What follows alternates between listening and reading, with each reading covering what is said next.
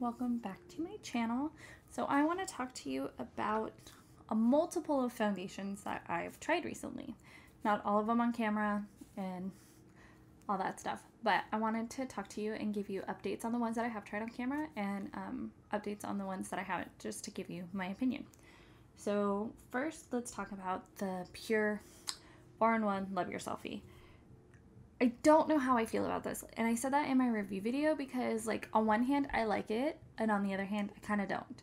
So it's a, like, a, eh, for me foundation. Like, I know Raw Beauty Kristi, like, swears by it, and she loves it, but I just, I can't get on board, and I don't know what it is that I'm doing wrong. So I've said it, I haven't said it, and all those things.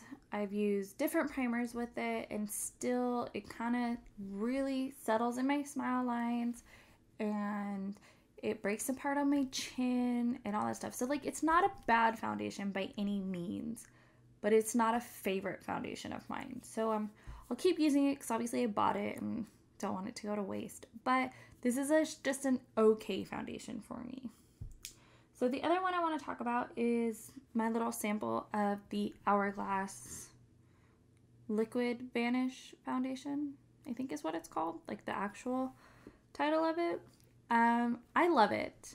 It lasts all day. It doesn't cake up on me. It doesn't sink into my lines too bad, which most foundations do, and that's not a problem.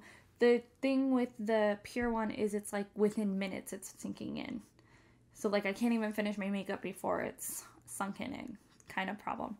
But I love this one. It's great. I highly recommend it. Um, I have normal skin, so like I can't really say if it would be bad for oily or dry skin because honestly, like it just it worked for me and I like it, and that's really all I can say about it. The one that I hate the most, and I literally mean I hate it, and that's really hard for me to say because I don't hate like anything to be honest. Like I, that's not really um, who I am. I don't really hate things. But this, I am so glad that I didn't actually buy the full um, foundation and I only got a sample of because, oh my god, had I bought it, it would have been the worst mistake ever. But it is, and I'm so sad to say this because I love the brand. So this is the Tarte Foundcealer. The obviously you can't 100% know that's what's in here, but it is, and it is terrible. So bad. Hate it. Literally, it breaks up with up on my chin. It fades away. I've said it. I haven't said it. I've applied it with my hands. I've applied it with a brush. I've applied it with a sponge. Nothing works for this thing. Like it literally hates my skin in the fact that like it won't settle. It like I've set it with setting sprays. I've set it with powders. I've done both, you know, but it literally doesn't melt into my skin like all my other foundations do. Like it literally just sits on top and it's gross feeling and I hate it. It's just so not worth it, okay?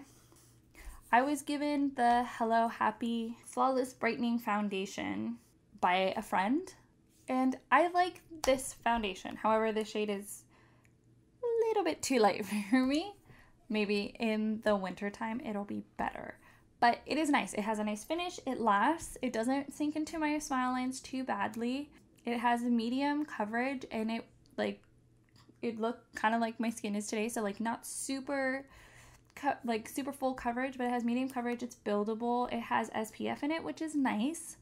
Um so it's a good foundation. It's not terrible. Their shade range, from what I've seen in Ulta, could use a lot of work just because I literally think there's only two to three like dark or deep skin tones and that's not really cool but it is a good foundation that I they I think they just need to expand on but it, that could just be my Ulta my Ulta could only carry a select selection but I could be wrong so just know that that's where I'm at on that. For the Pur 4-in-1 Pressed Mineral Makeup, which is a foundation in and of itself, I really like this. This coloring is slightly off for me, um, but I can't go darker and I can't go lighter. It's just I think the undertone in which this is is off.